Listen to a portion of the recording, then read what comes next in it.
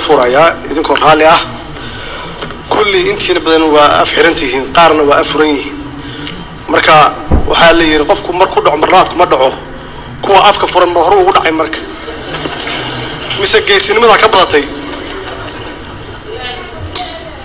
Alxamdulilah alxamdulilah guddoonka labada gole ee baarlamaanka xubnaha baarlamaanka ee aqalka sare iyo xubnaha baarlamaanka ee golaha shacabka ra'iisul wasaaraha iyo xubnaha golaha wasiirada guddoomiyaha maxkamadda sare xeer ilaaliyaha qaranka guddoomiyaha guddiga doorashooyinka madax bannaan guddoomiyaha gobolka banaadir taliyayaasha ciidanka qalabka sida guddoomiyaha baarlamaanka ee dowlad goboleedka ee galmudug guddoomiyaha ee baarlamaanka dowlad goboleedka ee hirshabeelle bahda saxaafadda iyo dhammaan marti sharafta kale assalaamu calaykum waraxmat ullaahi wabarakaatu mudanayaal iyo marwooyin waxaa sharaf ii ah inaan maanta oo ay taariikhdu tahay lixda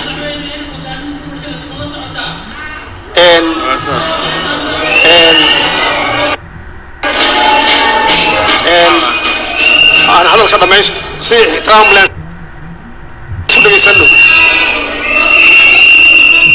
si ixtiraam madaxweyne ukaade xildhibaan habdhowrayaasha si ixtiraam len isu dhegaysano madaxweynaha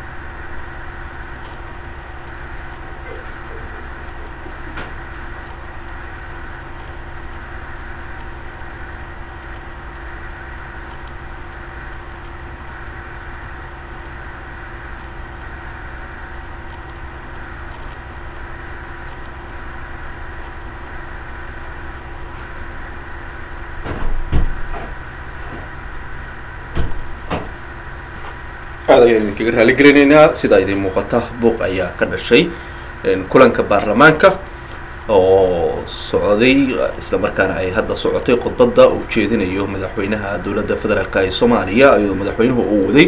Salaanta balse hadda sida muuqata buuq ayaa goobta ka dhashay. Intii khudbadda uu madaxweynaha uu waday waxaa dhacayay firimbi iyo weliba waxyaabo kale. Waxaana muuqda xildhibaanada ka tirsan baarlamaanka soomaaliya oo kor gacmaha u taagtaagaya. Laakiin codadka qaybta si toos ah ayuu uga sidaad ujeedaan hadda waxaa isbilowday isgacanqaad xildhibaanada qaar ka mid ah iyo weliba dad kale oo doonaya waad arkaysaan xildhibaanada ayaa hadda waxay xafad bilaabeen. Xaalada loo dejiyo in heesta astaanta calanka iyo ay qaadaan kooda ayaa hadda socota goobta u culus ayaa ka socota lama garanayo waxaa sababay qaar ka mid a xildhibaanada maadaama codkooda toos uusan noo soo Xasan Yare, Xasan Yare, Xasan Yare, ayaa waxay isdayayaan in la dejiyo xaaladda oo waxaa socda dadaalo waxaana muuqanaya qaar ka mid a mas'uuliyiinta goobta. Ma cadday kara inay xildhibaano yihiin oo isgacan qaadaya oo qaarkood kuwa kale gacmaha ay kor iskugu taagtaagayaan. Waxaa in la fowdeeyey khudbadda madaxweyne maxamed cabdullaahi farmaajo uu jeedinayay. Kuraasta ayaan u jeednaa oo qaar ka mid a xildhibaanada iyo weliba mudanayaasha meesha fadhiya ay kor u qaadayaan sida muuqatana khudbaddii madaxweynuhu uu jeedinayay hadda waxaa muuqata in arbushaad iyo weliba fowdo la geliyey laakiin sababaha keenay ma garanayno. Madaxweynuhu waxa uu waday salaanta uu u jeedinayay mas'uuliyiinta goobta ka soo qayb galay si inkastoo au madaxweynaha qaabka salaanta uusoo gudbiyey qaar ka mid ah ay muuqatay marka loo fiiriyo nidaamka in xoogaa madaxweynuhu uu kala hormariyey qaarna uu ka tegey ousan salaantii ousan salaamin. Ma ogi ilaa iyo hadda lama cadday karo. Sababta fowdada dhalisa inay istaa tahay iyo in wax kale ay jiraan. Balse waxaa muuqata in ay goobta fowda ka dhalatay. Xildhibaanada iyo xaaladda in la dejiyo ayaa la isku dayayaa. Laakiin waxaa muuqata ilaa iyo hadda in aan lagu guulaysan in si rasmi ah hawsheenaan gudano codka madaxweynaha codka madaxweynaha ayaa hadda microfonka la siiyey laakiin dib ayaa looga xiray. Waxaan ogaan doonaa bal xaaladdu sida ay noqoto si toosa ayaan idinkugu soo gudbi doonaa. Sidaad ujeedaanna weli waxaa muuqda fowdada waxaa la isku dayayaa xaaladda in la dejiyo guddoomiyaha baarlamaanka iyo mas'uuliyiinta kale ayaa doonaya inay ka qayb qaataan bal sidii fadhiga ay dadka ugu laabo lahaayeen oo fowdada loo jooji lahaa ma cadda sababta laakiin waan ogaan doonaa bal waxaa keenay in goobta fowdadu ay ka dhalato oo ay sidan xaaladda isku bedesho laakiin barnaamijku waa live sida aad u wada jeedaan waxaana muuqanaya in hadda la isku dayayo weli in arrinta la dejiyo oo dad ay dadaal wadaan laakiin waxaad u malaysaa dhinaca kale in xildhibaanadii iyo sheeko ay qaar bilaabeen qaarkood ay kaftamayaan qaar ay isku is- isku hanjabayaan ama isku waxaa laga codsanaya Xildhibaanada ay fariistaan oo fadhiga ay ku Alla laabtaan fariisto. oo ay nidaamka ilaaliyaan. Laakiin sida muuqata qaar ayaa weli ka dhega adeegaya in ay fariistaan. Waxaa ii muuqda xubno ka tirsan mas'uuliyiinta xildhibaanada baarlamanka oo fadhiga ka kacay. Isla markaana xildhibaan kamida gabdhaha ayaa hadda waxa ay u gacan qaadaysaa xildhibaan kale iima muuqdaan wejigoodu si rasmi ah maadaama qalabka looga hortago coronaviruska ay xiran yihiin. Marka kuwa ay yihiin ma cadday karno ilaa iyo hadda. Laakiin waxaa muuqata in si rasmiya loo fowdeeyey qodbadii madaxweynuhu uu jeedinayay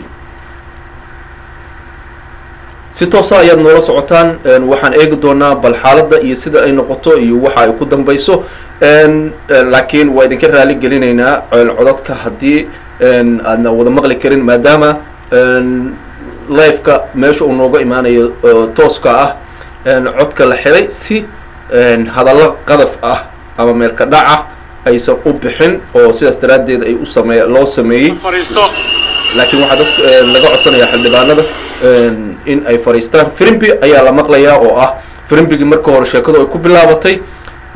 Waana arrin aada u foolxun oo ah u muuqata in hadda qodbadii madaxweyne maxamed cabdullaahi farmaajo la fowdeeyey waxaan u jeedaa mas'uuliyiin uu ka mid yahay xildhibaan ahna wasiir ku-xigeenka wasaaradda warfaafinta oo qayb ka ah dadka doonaya in xaaladda la dejiyo oo fowdada la joojiyo xildhibaanada inta ugu badan waxa ay isku dayayaan in bal arrinta la dejiyo oo xildhibaankii codka bilaabay dhinaciisa ayaa ay arrinta u badan tahay in la isku dayayo bal in xaaladda la dejiyo. Sidoo kale wasiirka dhalinyarada iyo sportiga qadiijo ahna xildhibaan ka tirsan baarlamaanka ayaan filayaa inuu qofkaasi yahay ayaa ii muuqata sidoo kale oo doonaysa in arrinta ay qayb ka qaadato sidii lagu deji lahaa. Xildhibaanada kale ha fadhiistaan fadlan. Xildhibaanada kale ayaa laga codsanayaa inay fadhiistaan. Marka laga soo tago xildhibaanada arrinta bilaabay oo ilaa iyo hadda aysan kala caddayn sababta rasmiga ah maadaama barnaamijka oo life yahay. Laakiin qeybaha dambe waxaan ku ogaa doonaa bal waxaa keenaya in xildhibaanku uu kaco iyo sababta keentay in fowdadan ay bilaabato. Barnaamijka weli waa life waana xafladda furitaanka kalfadhiga toddobaad ee baarlamaanka federaalka soomaaliya. Waxaa socotay khudbadda madaxweyne maxamed cabdullaahi farmaajo. Sidaad wada maqlaysaan ayaa goobta weli ka dhacaya xildhibaan kasta oo hadda taagan wuxuu la mid yahay xildhibaan qaylinaya fadlan xildhibaan walba ha fadhiisto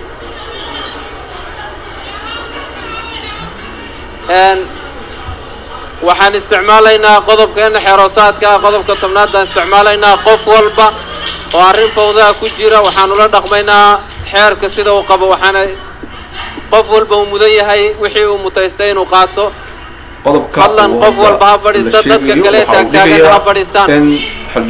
Dadka taagan ha fadhiistaan. fadhiista fadlan fadlan fadlan wasiir fadlan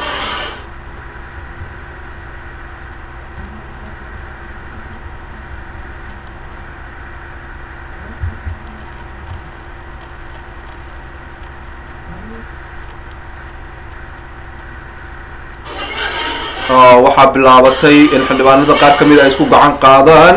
Sida idiin muuqata gabar ka mid a xildhibaanada baarlamaanka ee federaalka ah ayaa waxa ay u gacan qaadaysaa mid kale oo ka mid a een, xildhibaanada dowladda federaalka ah ee soomaaliya. Sida idiin muuqata garabka dambe ee wasiir khadiijo ayay gabadhaasi hadda ay fadhisay. Waana ka xunahay qadka sidoo kale internetka ee magaalada muqdisho oo aada u liita aada ayaan idinkaga raaligelinayna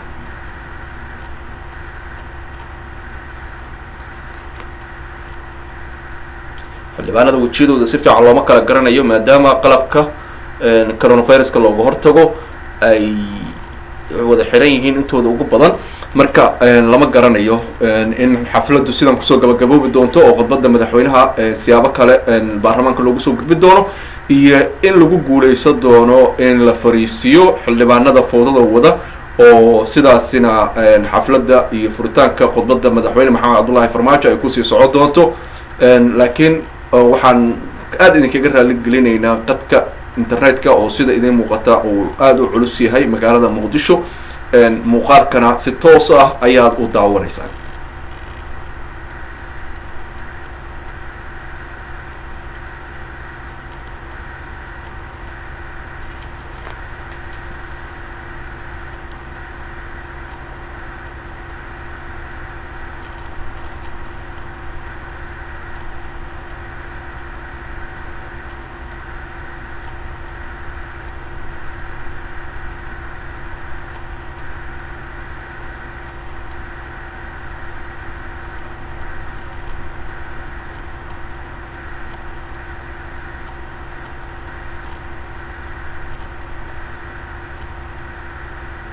ilaa hadda nooma kala cadda bal waxa soconaya iyo sida ay yihiin laakiin waa arrin aada u fool xun in istaago madaxweynaha kalfadhiga baarlamanka inuu furana. sidaad codka ka maqlaysaan waxaa la jebinayaa qodob ka mid ah dastuurka jamhuuriyadda federaalka soomaaliya gudoomiyaha baarlamaanka codkiisa? Waxaan leenahay fariista xeroosaadaad leedihiin ha la fadhiisto ha la is ixtiraamo madaxweynaha khudbaddiisa waa dastuuri haddaan dastuurka ixtiraamayno madaxweynaha ha la ixtiraamo gudoomiyaha baarlamaanka waxa uu sheegayaa in arrintaanu aysan ahayn madaxweyne maxamed cabdullaahi farmaajo ayaa la Xishoodka diidan yaan yahay laga iyo tegin. waa Mudane taageersan madaxweyne. yahay, laakiin ay tahay arrin dastuuri ah oo- oo loo baahan yahay in madaxweyne ahayd waajibkiisa sidaa daraaddeedna ay tahay in arrintan soomaaliya iyo ummadda soomaaliyeed waxay diyaar u yihiin inay dhegaystaan. Soo dhowow madaxweyne. Mudanayaal marwooyin laba qof baa laba la- saddex boqol iyo ee, labaatan iyo sagaal afduubtay maanta. Ee waxaa sharaf ii ah inaan maanta oo ay taariikhdu tahay lixda bisha juun labada kun iyo labaatan aan si rasmi ah u furo kalfadhigii toddobaad ee labada gole ee baarlamaanka. Waa mahadsantihiin ee jamhuuriyadda federaalka soomaaliya anigoo gudanaya waajibaadkaygii dastuuriga ah. Waxaan marka hore aan u mahad celinayaa mahad iska leh halkan isugu kaaya keenay maanta oo noo suurtogeliyey inuu shirkaan noo qabsoomo iyo ilaahay naga samata bixiyey caabuqa koronaha ee aafeeyey dunida oo dhan. Iyadoo la filaayay inay soomaaliya oo aan nahay dal runtii aad ee u nugul in dhibaato weyn aan kala kulmayno. Ilaahay baa mahad iska lahaa oo naga samata bixiyey culayskiisana naga qaaday allah u naxariisto dadkii intii ay ku dhi- ee- ee u dhintay caabuqaas inta ee u jiifta oo u xanuunsana ilaahay ha ka kiciyo. Sidoo kale ilaahay ha u naxariisto xildhibaan aadan xasan cali aadan jamhuuriya. Ilaahayna waxaan uga baryaynaa inuu naxariis jannadiis siiyo kulligiinna samar iyo iimaan uu idinka siiyo. Waxaan u mahad celinayaa guddiga qaranka ee ka hortagga cudurkan covid uu hogaaminayo ra'iisul wasaaraha iyo howlwadeennadii iyo bahda caafimaadka oo xaqiiqatan qabtay shaqo dhaxal gal ah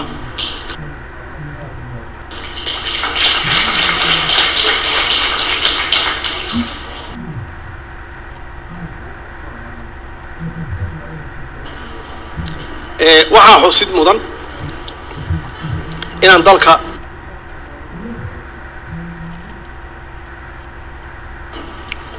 aan ku soo celinay in ka badan kun iyo laba boqol oo muwaadiniin soomaaliyeed oo ku xayi- ku xa- ku xayirnaa dibada cudurkan dartiisa. Oo ilaahayna nagu guulayay waxaan u mahad celinayaa dowladda turkiga oo xaqiiqatan maanta ka hor ma imaan dhismahan ee dhismahan noogu deeqday aad iyo aad yaan ugu mahad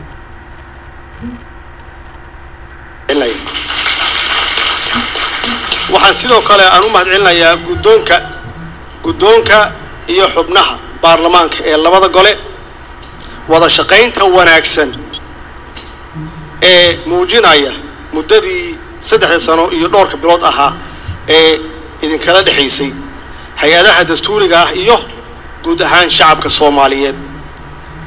Waxaan qiraya sida uu sheegay ay sheegeen labada guddoomiye la idinku ammaanaya inaad tihiin baarlamaankii ugu shaqada badnaa oo runtii ansixiyey.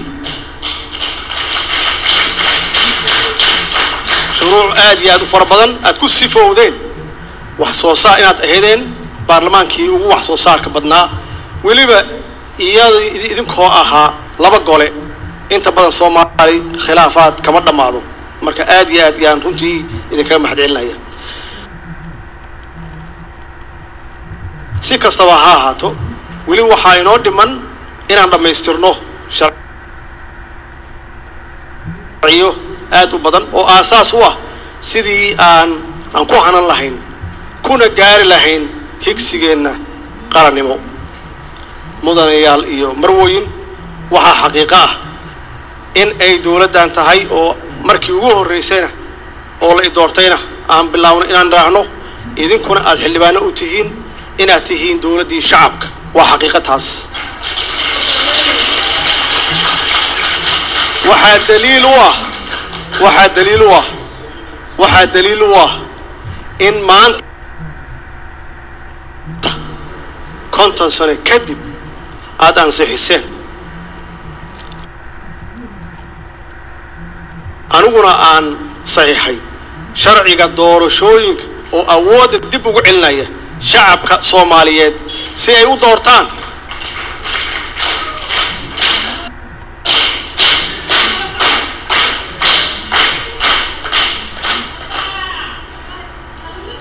Si ay u doortaan si ay u doortaan xisbiga iyo dowladda ay doonayaan si ay shacabka soomaaliyeed u doortaan siday shacabka soomaaliyeed u doortaan xisbiga iyo dowladda ayay doonayaan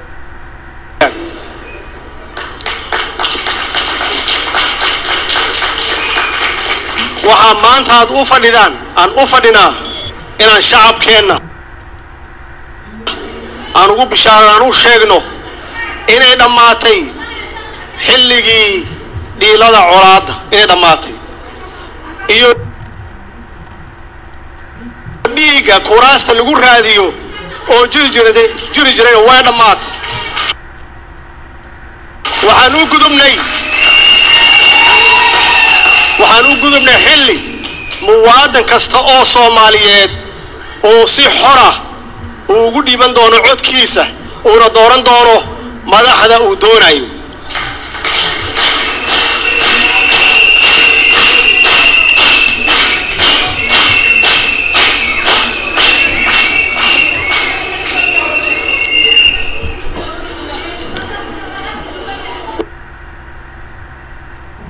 Waxaan ugu soo fool leh guud ee dalka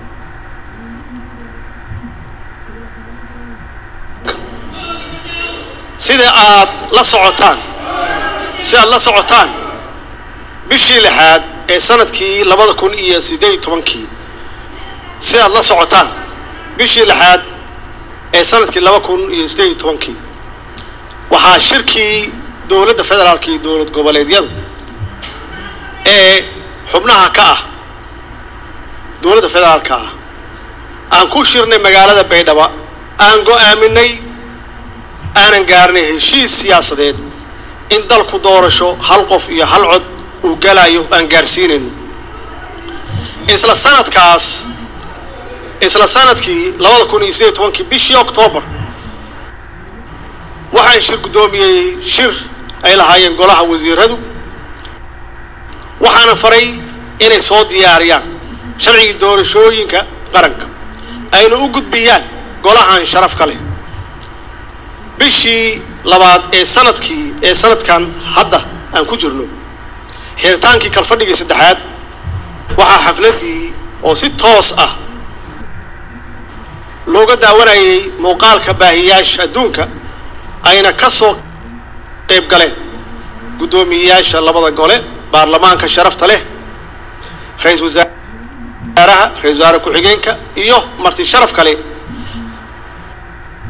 aan faray mar kale aan faray mar kale oo aan hortooda ku saxiixay sharcigaas doorashooyinka qaranka oo aad ii soo gudbiseen si shacabka soomaaliyeed ay u helaan fursad ay ugu doortaan cidda ay rabaan iyo waktigii loogu talagalay loo asteyna inay u dhacdo doorashadu. Waxaa intaas dheer guddoomiyayaasha labada gole ee baarlamaanka oo iyagu naftigooda warbaahinta u caddeeyey mar waraysiya laga qaaday in doorasho ay dhacayso ayna ku dhacayso waktigii loo asteeyey. Sidoo kale ayaa shirkii golaha wasiirada ee dhacay labaatan iyo sagaalkii bishii hadda la soo dhaafay. Ayuu ra'iisul wasaaraha si ku celisaa haddana ummadda soomaaliyeed. Guud ahaan iyo gaar ahaan golihiisa wasiirada uu caddeeyey dalku inuu doorasho aadayo waktigii loo asteeyana ay dhacayso hadduu ilaah yidhaahdo waxaa sidaas awgeed aan labada gole ee sharafta leh ee baarlamaanka aan halkan aan leeyahay mar kale guddiga iyo guddiga madax bannaan ee doorashooyinka qaranka dowladda iyo dhammaan hay'adaha kale ay khuseyso aan ku dhiirigelinaya aan ku adkeenaya inay gutaan waajibaadka ka saaran sidii ay doorashada u dhici lahayd ayna ugu dhici lahayd sidii aad u ansixiseen iyo waktigeeda oo nabad ah hadduu ilaah yidhaahdo. Waxaan sidoo kale aan ka filayaa saaxiibada soomaaliya iyo waddamada deeq bixiyaasha ah. Inay naga taageeraan sidii aan u gaari lahayn yoolkaas muhiimka ah oo taariikhiga ah. Hadduu ilaah yidhaahdo mudanayaal iyo marwooyin waxaad la socotaan sooyaalka doorashooyinka dalka soomaaliya ee ka dhici jiray. Qaabka doorasho kasta oo aan soo marnay tan iyo qaranjabkii waxay ahayd mid wacyiga maalintaas taagan ay ka turjumayso. Sidoo kale qaabka doorasho kasta way ka duwanayd tii ka horraysay marka loo eego ka qaybgalka bulshada bulshadeenna soomaaliyeed. Mar kasta tallaabo ayaanu horey u qaadaynay doorashadani marka inay ay ka duwanaato kuwii hore waa muuqataa oo way caddahay inay muddadaasi in ay ummadda soomaaliyeed ay dib u hantaan way doorashaa doorashadan xuquuqdooda muwaadinnimo ayna muddo konton sano ah kadib markii ugu horreysay ay sida uu qoraayo dastuurka iyo sharciga doorashooyinka qaranka. Waxaan shacabka soomaaliyeed aan kula dardaarmaya inay taageeraan oo ay u soo baxaan doorashadan oo si xor ahna ay ugu codeeyaan xisbiga iyo dowladda ay doonayaan si ay uga gudbaan saddex cadow oo ay soomaaliya leedahay ama saddex cudur oo ay soomaaliya leedahay oo ugu horeyso qabyaaladda fakriga iyo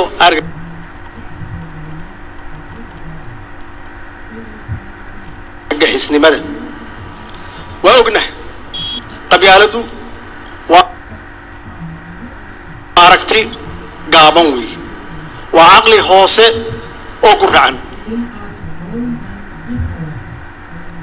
waa tartan iyo tabasho u dhexeeya jifooyinka oo wada dhashay jifooyinka wada dhashay. Ma aha wax ka tarjumi kara danaha qaranka ama ka tar ama la tartami kara qaran kale. Qabiilku ma aha wax qaran dhisa.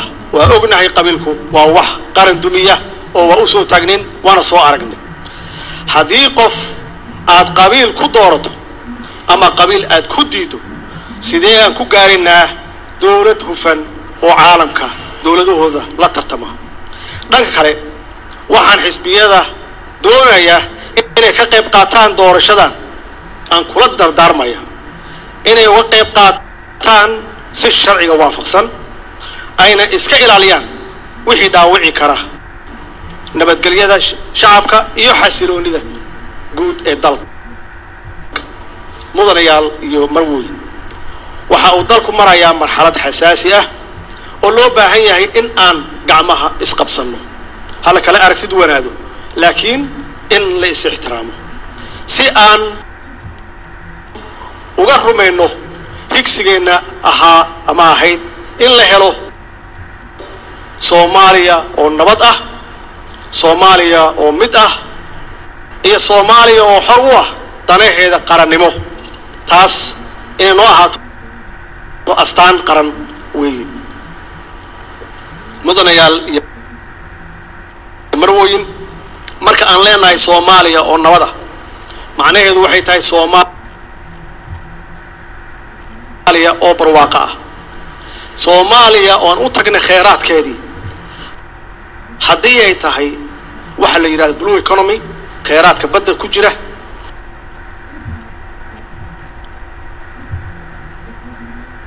kalluun iyo shiidaal iyo waxay tahay hadday tahay kheyraadka waa haddii nabad la helo wey. Haddii nabad la helo oo ay daba socotaa nabaddu. Inaan u tagno kheyraadkeena berriga oo hadday tahay macdano kale hadday tahay beero iyo hadday tahay xoolo. Soomaaliya waa dal qani ah. Laakiin shuruudda waxay tahay in la helo nabad iyo dowlad ku hagta nabaddaas yaa khasab ah. Soomaaliya oo mid ah oo aan la faragelin oo aan loo imaanin oo shisheeye uusan soo dhexgelin. Soomaaliya oo mid ah weeye iyo soomaaliya xora oo danaheeda iyadu ee gaari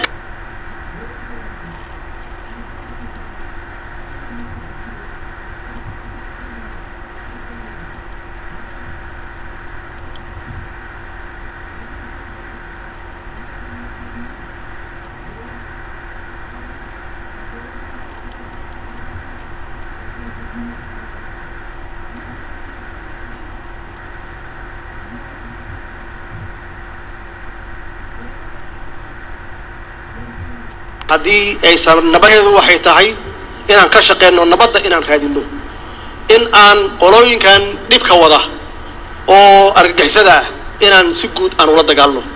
Inaan la dagaalanno qabiilistayaasha dadka qabyaaladda ku shaqaysta oo ummadda soomaaliyeed isku dira ee walaalaha ah. Inaan ka shaqeyno midnimada soomaaliya. Maxaa yeele waxaan ka hadlaynaa waxa weeye hadda ma aha. Waxaan ka hadlaynaa soddon waxaad qabateen iyo waxaad qabanaysaan waxay muuqanayaan soddon sano ka bacdi ah. Ma aha hadda waxaan samaynayno ee waxaa dhaxli doona carruurteenna iyo kuwa ay sii dhalaan. Marka mas'uuliyadeennu ma aha maanta waa inaan u diyaar gareenno mustaqbalka carruurteenna iyo mustaqbalkooda. Waxaa xaqiiqa ah inayna soo wajaheen caqabado badan oo ay ka mid ahaayeen weeraradii arxandarrada ahaa ee ay geysteen argagixisadu.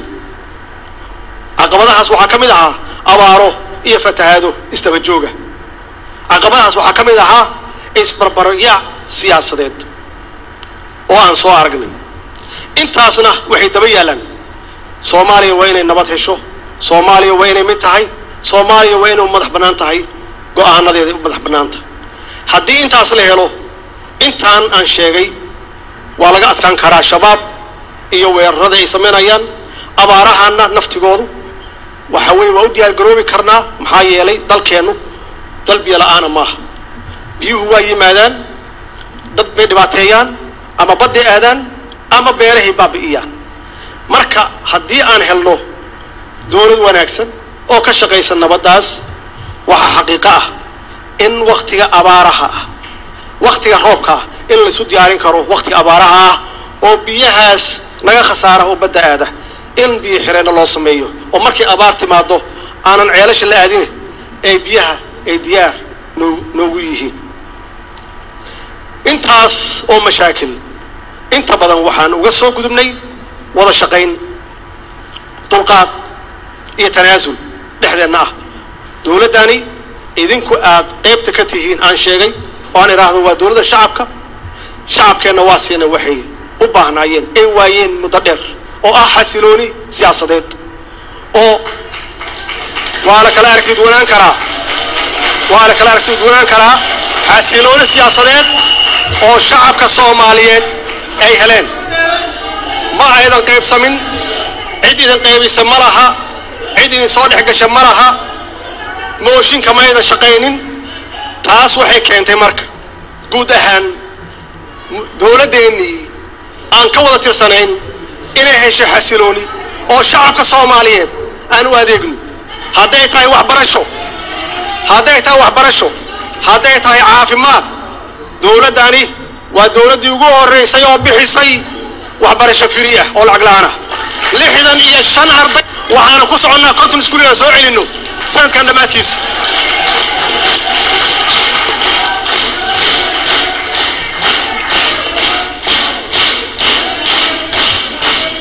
ku gaarnay xasilooni siyaasadeed. Shaqaale dowladeed hal bil mushahar la'aan ma noqon. Askari ciidan hal bil mushahar la'aan ma noqon. Idinkaa ugu wacan idinkaa ka mas'uula oo ka shaqeeya xasiloonidaas haddaydan idinka ahaan lahayn xasilooni dalka kama jirin. Halka qof oo firimbiga haysta waa bixi kara hadduu rabo. Waa hal qof carruurta soomaaliyeed waxaan siinay waxbarasho. Laakiin fari kama qodna. Fari kama qodna. Fari kama qodna. Fari kama qodna. Si kastaba ha ahaato weli weli waxaa inoo haray. Weli waxaa inoo haray. Inoo haray safar dheer. Safar dheer yaa noo haray. Dowladii saddex sano iyo toban sano meeshay rabta kuma gaarto. Safar dheer baa noo haray laakiin safarka idinkaa bilaabay. Idinkaa bilaabay safarka.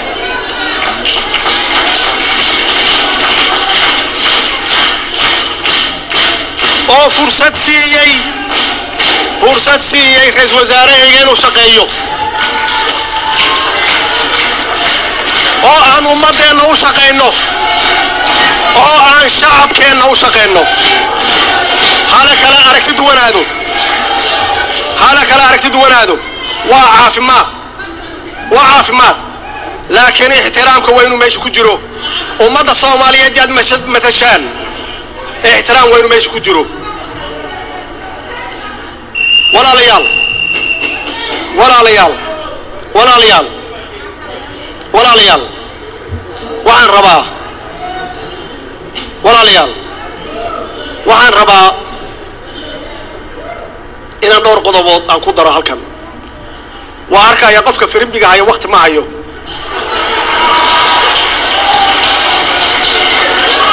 Waktigii waktigii qadada.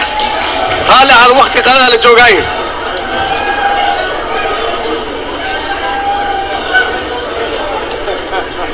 walaal sanadkiiba haddii mar saddexdii bilood mar haddii laisu yimaado sanadkiiba haddii laisu yimaado in lais dhegaystaa wanaagsan. Walaalayaal si aan u xaqiijinno marka arrimaha amniga oo muhiim noo ah si aan u xaqiijinno higsigeenna qarannimo waxaa dowladdan ay xoog saartay sidii ay wax uga qaban lahayd nabadgelyada dhaqaalaha iyo siyaasadda iyo dabcan la dagaalanka musuq maasuq tan iyo intii aad i doorateen waxaan si aan kala go' lahayn aan isugu howlay inaan dhisno ama aan dhisno hay'adihii amniga oo ay- ka turjumi karaan marxaladda amni ee dalka hadda uu ku sugan yahay.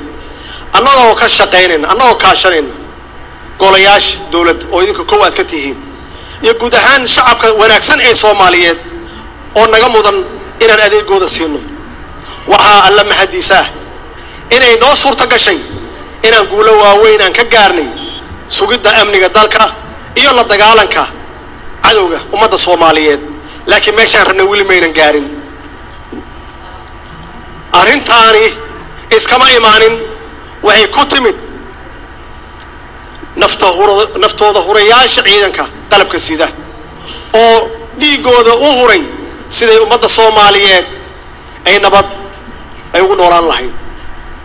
Sidaas awgeed anigoo ka duulaya sidii aan aan u ilaalin lahayn niyadda iyo hamiga wiilasha iyo gabdhaha soomaaliyeed oo maalin walbaba heeganka ah oo qoraxda taagan dhaxantana taagan sidii ay dalkooda iyo dadkooda ay u da- u daafici lahaayeen. Waxaan xaqiijinay in mushaharaadkooda iyo baahiyooyinkooda gaarka ah oo asaasiga ahaa ee ciidan ay helaan bil walba oo joogto ah oo weliba aan u kordhinay mushaharkooda. Taas waxay qayb ka tahay natiijooyinka lamilaawaanka ah ay gaareen ciidamadeenna qalabka sida. Waxaan leeyahay ciidamada qalabka sida guulaysta guulaysta ciidankeenna.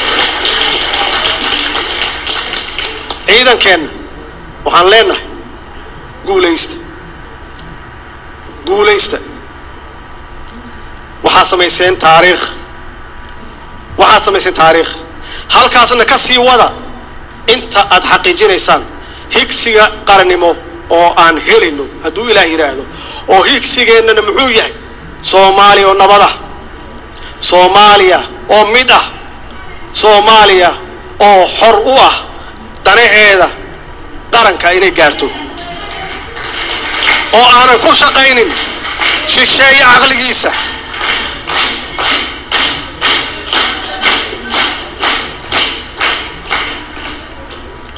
Waxaan shaki ku jirin in dibudhiska ciidanka uu ahaa shaqo aad iyo aad u dhib badan oo u xoog badan runtiina ay ahayd in mar hore la bilaabo. Laakiin waxaa alla mahadiisa ah inaan haddaan ku guulaysanay inaan taagno tiirarkii aasaaska u ahaa ciidanka soomaaliyeed oo taya leh. Guulaha uu ciidankeena gaaray.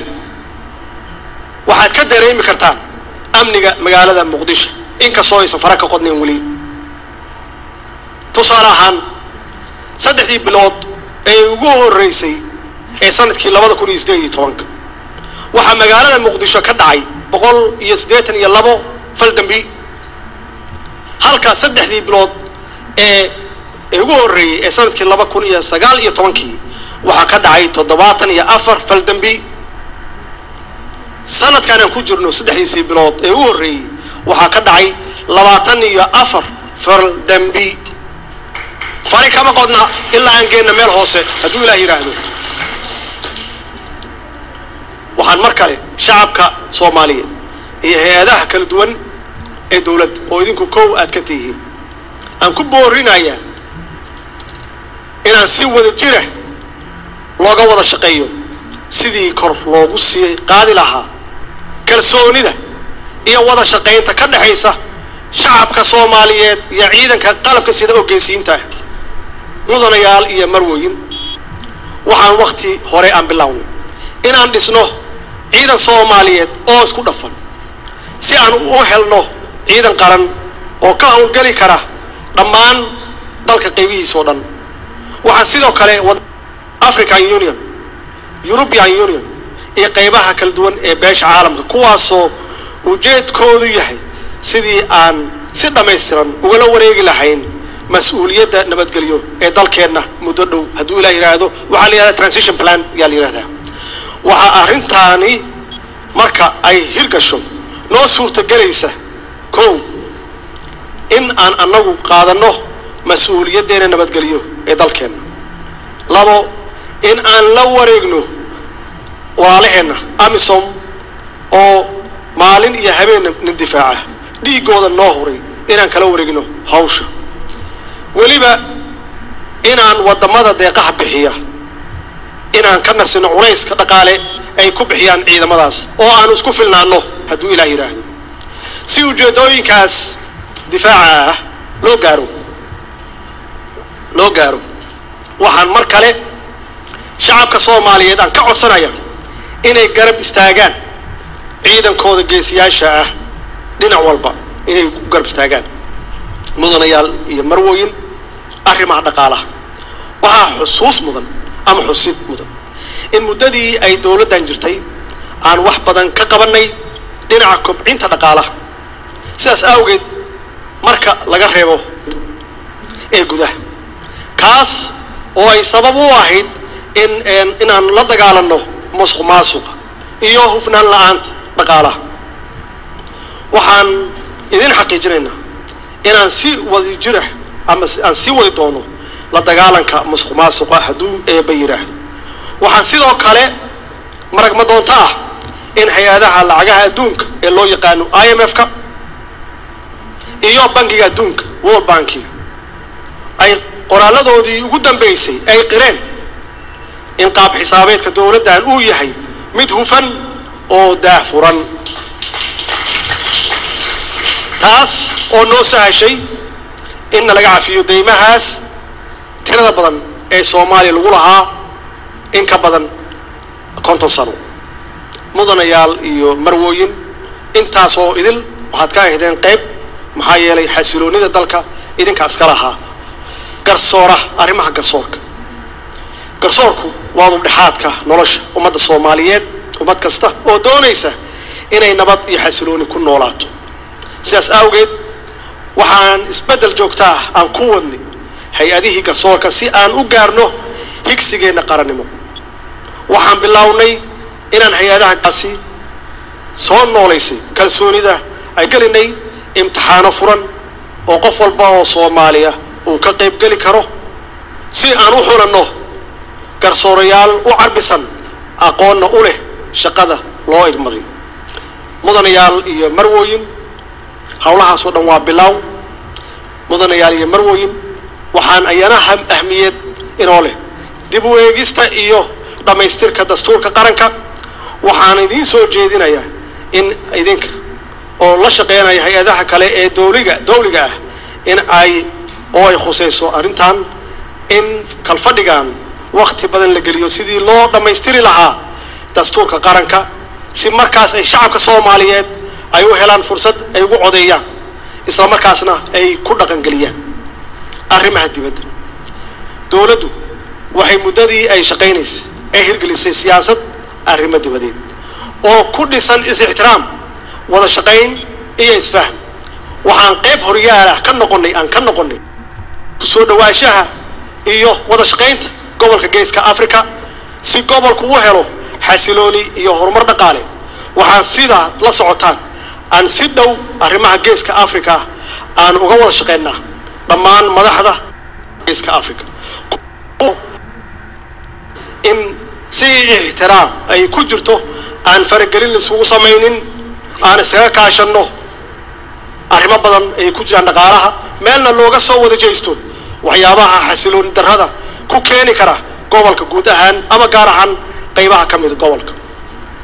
Sidoo kale waxaan rabaa inaan idin caddeeyo in dantu ay ku jirto wada shaqayn hadday noqoto dowladaha deriska ah.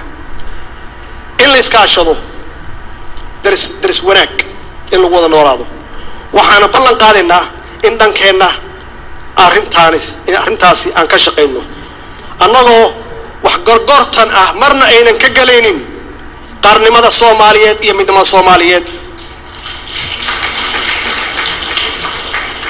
Mudanayaal iyo marwooyin arrimaha bulshada. Waxaan rabaa inaan halkan maanta aan uga hambaliyeeyo dhalinyarada soomaaliyeed meel kasta ay joogaan. Oo runtii oo runtii udub dhaxaad u ah. Udub dhaxaad u ah nabadgelyada iyo horumarka iftiimaya ee ummadda soomaaliyeed ay maanta ku noolaanayso ku naaloonayso. Waxaa caddaa waxaa caada ahaan jiray in la yidhaahdo dhalinyaradu waa madaxdii berri. Laakiin annagu waxaan idin leenahay dhalinyarada soomaaliyeed waxaad tihiin madaxdii maanta waxaana shaki ku jirin. Annagoo ka duulayna mabaadi'daas aan dhalinyarada soomaaliyeed u igmanay qaybaha ka mid ah mas'uuliyad mas'uuliyadihii ugu muhiimsanaa ee dalka ee dhinaca nabadgelyada dhinaca dhaqaalaha cadaaladda siyaasadda iyo arrimaha bulshada. Waxaan ballan qaadayaa inaan sii wadi doonno arrintaas hadduu ilaah yidhaahdo si aan u xaqiijinno doorka muhiimka ah ee dhalinyarada soomaaliyeed ay ku leeyihiin hoggaanka iyo dib u soo noolay soo noolaynta qarannimada soomaaliyeed. Si kastaba ahaatee waxaan rabaa inaan dhalinyarada aan uga digo inaan uga digo kuwa doonaya dhiigga dhalinyarada inay jaranjara ay ka dhigtaan. Waxaan u sheegayaa dhalinyarada in aysan mar dambe aysan noqon aan loo isticmaalin dadka la yidhaahdo ma liibaanaha lagu liibaano. Ma liibaanaha laguma liibaano. Dhalinyaradu inay ka fogaadaan. Soddon sano oo khibrada yay leeyihiin waa la soo shitay. Dagaal qabiil baa la soo geliyey. Haddana waxaa lagu wadaa dagaal argagixis. Dhalinyarada soomaaliyeed intuu wakti ka lumi karo waa ka lumay. Maanta waxaa loo baahan yahay in mustaqbalkooda ka shaqeeyaan. Dowladdii kala shaqeyn lahaydna waa annaga mudanayaal iyo marwooyin. Shacabka soomaaliyeed wuxuu soo maray marxalada badan oo aad u adag. Dagaalo qabiil dagaalo argagixisnimo abaaro iyo daadad dadkii iyo dunyadii halakeeyey iyo wax la mid ah. Wax kasta oo na soo maray waxaa alle mahadiisa inaan weli soomaali ay taagan tahay. Inaan weli aan jirno insha allah soomaalina waa jiri doontaa hadduu ilaah yidhaahdo waxaan marka shacabka soomaaliyeed meel kasta ay joogaan khaasatan dhalinyarada aan ka codsanayaa inay laba laabaan dadaalkooda ku aadan wada shaqaynta ay la leeyihiin dowladdooda. Iyo ciidamadooda si aan uga gudubno masiibooyinkaas dabiiciga ah iyo kuwa dadku ay sameeyeen ee dalkeenna halakeeyey. Waxaa sidoo kale ummadda soomaaliyeed aan ka codsanayaa inay nagu taageeraan sidii loo heli lahaa dowladnimo soomaaliyeed oo ka hufan qabyaaladda fakriga iyo argagixisnimada kuwaasoo ah saddexda cadow ee dilaaga u ah dowladnimada iyo qaarnimada soomaaliyeed oo aan doonayno in aan dib u soo yegleenno aan xoojino mudanayaal iyo marwooyin waxa aan si nasasho la'aan ah aan isugu dayn inaan kor u qaadno xiriirka ka dhexeeya dowladda federaalka iyo dowlad goboleedyada. Xubnaha ka xiriirkaasi oo ku dhisan wada tashi iyo isfaham iyo in la xurmeeyo dastuurka kumeelgaarka ah ee qaranka. Dadaaladaasi waxay qayb ka ahaayeen sidii loo gaari lahaa higsiga guud ee dalkeenna iyo dalka soomaaliyeed. Waxaa alla mahadiisaa in aan guulo ka gaarnay dib u heshisiinta iyo dib u dhiska dowlad goboleedyada shacabkooda matala danaha shacabkoodana ka shaqeeya. Waxaan gaarsiinay dowlad goboleedyada gargaar caafimaad covid nneteen oo aan oo ah ka hortagga iyo la dagaalanka caabuqaas. Intaas inta tabarteenu ay tahay waxaan gaarsiinay dhaqaale gargaar ah kuwa musiibooyinka fatahaadaha iyo daadadku ay waxyeelayeen mudanayaal iyo marwooyin dadka soomaaliyeed waa dad waalaaha waa dad waala ah oo aan kala maarmin waana soo dhawaynayaa hadalkii walaalkay madaxweynaha somalilan muda- mudane muuse biixi uu ka aqbalay inaan dib u bilaawno wada hadalladeennii wax kasta oo jirana wax kasta oo jirana aan ku dhammayno walaaltinimo wada hadal iyo is-afgarad gabagabadii gobolka banaadir. Maanta waxaan labada aqal ee baarlamaanka federaalka soomaaliyeed aan u jeedinayaa codsi madaxweyne oo aan rajaynayo inaad iga aqbashaan. Aad igu taageertaan iguna sharaftaan. Si aan u muujinno tixgelinta iyo qadarinta aanu u hayno caasimadda muqdisho oo aanu wada jecelnahay oo aanu si gaara meel gaara iga taalla. Oo aan ku dhashay oo aan luqluq u aqaano oo aan ku koray. Fadlan igu raaca in aqalka sare ay caasimadda muqdisho ay ku yeelato matalaadda ay mudan tahay. Ayna muraayad uga wada noqoto dhammaan shacabka soomaaliyeed mar kale